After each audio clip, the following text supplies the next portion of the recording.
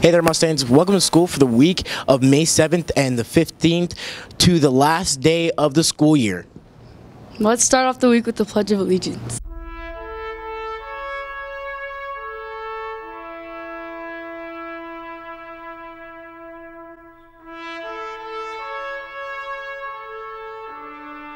Please stand for the Pledge of Allegiance. Ready, begin. I pledge allegiance to the flag of the United States of America and to the republic for which it stands, one nation, under God, indivisible, with liberty and justice for all. Thank you. Job well done. Let's see what's happening at Westlake this week.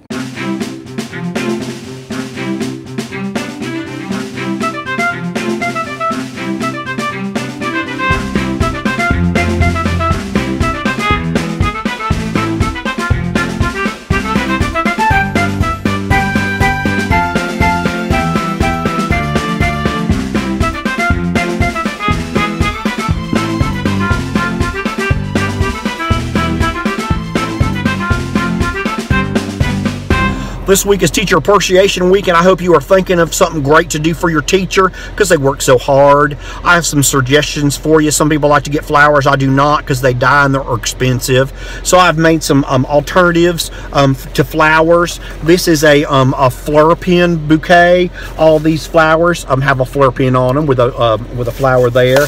Teachers will just love this um, because they love Flair pens and it's, it's in a little pretty container here. Now you can also make these flower pot things very personalized. I just love this one. My friend made it. It's got some Slim Jims on these flower petals. Everybody loves Slim Jims. And then it's got some um, some string cheese right here. That's delicious. And then around the flower pot, it's got some Fiber One bars.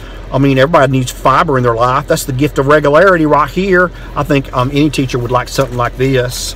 And then I've come up with another idea that I think is going to um, uh, catch on quick. It's a um, Flair pen hand corsage. See, I just put it on a, um, uh, on this wrist thing, and then I glued a pretty flower to it, and it's got some Flair pens. And so now your teacher can walk around um, with a Flair pen flower corsage and say, look how much somebody loves me because they made me a teacher prom um, hand corsage. I hope you'll do something special for your teacher this week for Teacher Appreciation Week. Thanks for the update.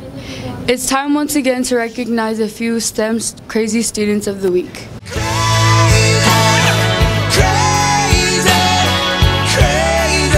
Curious, Amina Ahmed, Muad Ahmed, and Justin Clausen. The teacher says these three fine students represent Westlake STEM so very well at the state debate tournament. Even when rounds became challenging and a little nerve wracking, these three never, never gave up. Hats off to you and all the debate team members here at Westlake STEM. Congratulations. Respectful, Jordan Ho. Jordan is polite and kind. He is reliable, does what he is supposed to at all times, talks when appropriate, and is very patient with his cl classmates. Accountable. Tiano Benali. Tiano is always on task and does his best. He really, you have to turn pages. Likes to learn and does what he what needs to be done to be successful. He has been a great team member during our Sage Review M Games and has helped his teammates and other students prepare for the Sage. He is also kind, polite, and respectful. Zero quitting. Ashley Chuba. Ashley works hard during class and always asks questions to make sure she understands what she needs to be doing. She works hard to make up any work that she has missed. Thanks, Ashley. Zero quitting. Mariah Vale. Mariah always tries to do her very best. She seeks out teachers and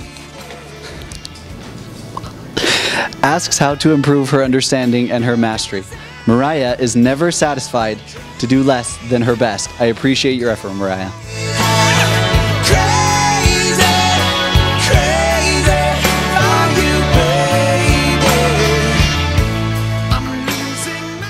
Thanks to those students for being STEM crazy. Keep it up. Hey there, Mustangs. I am standing next to a few of the great Westlake STEM science teachers. And yeah, I got to hand it to you. You look good. Can you explain, Mr. Dutton, explain to me for just a moment why in the world you look this way?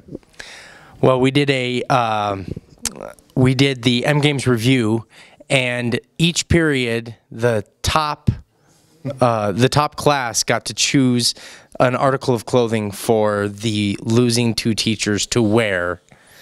So here's what we came up with. You look pretty good. And I understand, though, and this is our eighth grade crew here, but each one of you took a, a turn losing. Is that right? no, not just you, but the classes, which also means there was a lot of winners in that. Um, that is two weeks and even three weeks into our M Games review. Um, the results for the math aren't ready yet. We'll have those featured next week on Mustang Media. Um, but we want to leave you from the science teachers with the class winners and the individual team winners for the M Games Science Review Tournament. And don't they look good? Thanks, Mustangs.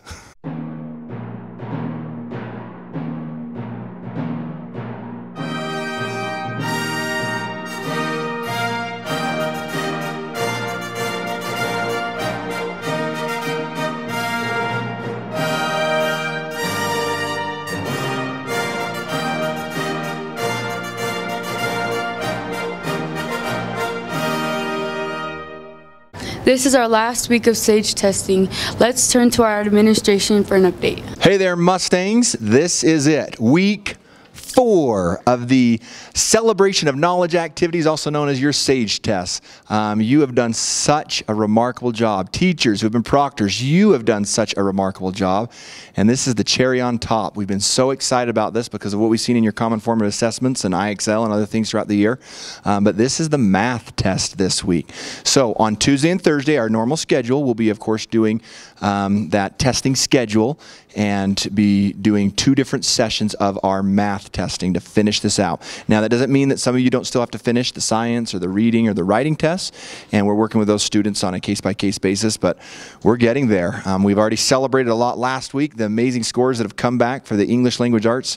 Um, just incredible, something like six and a half or seven percent above where Westlake has ever been before. You crushed it.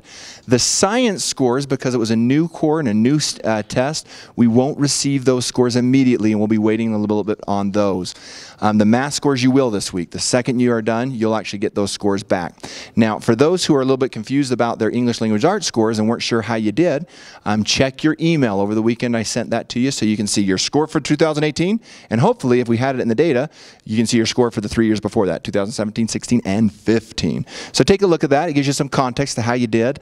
Um, as we've already said, as a school, it was just a home run. It's so exciting to see. Even though we don't have the exact numbers for science, that's our impression. We really were impressed with the level of work students put in and the feedback they, they gave us saying, hey, they felt pretty good about it. So I think you are very well on your way to a personal best in at least two of the three subjects, if not all three, which, as you know, was our goal for the STEM Rising Festival the last Friday before we, uh, the second to last Friday before the last week of school. Um, keep up the good work. Go Mustangs. Thanks for the refresher on SAGE testing.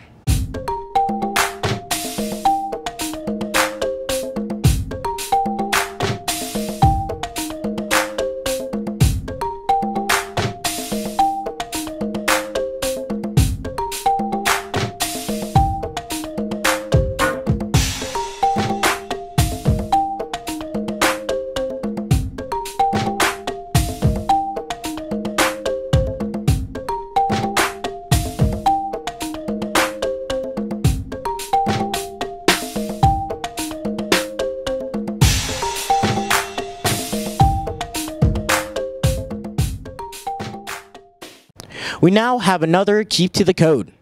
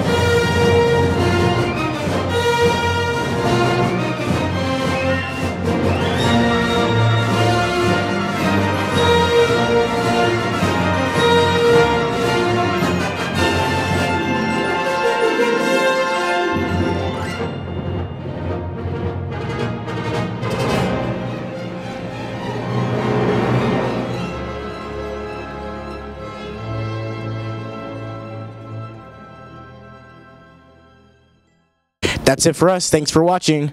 This is Mustang Media. I won't let memory loss take away from my junior high experience. That's why I took I bought a yearbook. Ah, ah, ah.